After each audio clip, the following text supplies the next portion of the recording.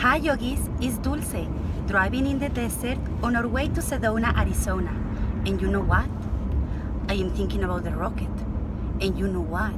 Jamie is also thinking about the rocket in Glastonbury.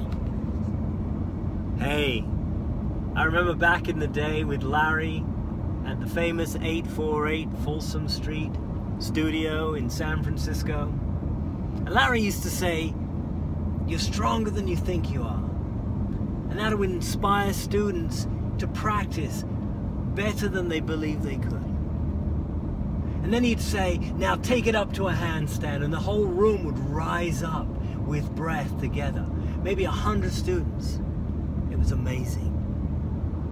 And that's what we're going to be doing in Glastonbury breathing, practicing, and celebrating the legacy of Larry Schultz and the rocket. Everybody, Mark England here. I'll be on the course two, teaching vocabulary. Vocabulary shows people how powerful and influential their words actually are, how powerful and influential your words actually are. And look at the name of the course, Anahata Explosion. We're going to open up your conversations. Your thoughts are going to become clearer and stronger. And you know what else is going to become clearer and stronger? Your rocket practice on the mat. You're going to love it. I'll see you there.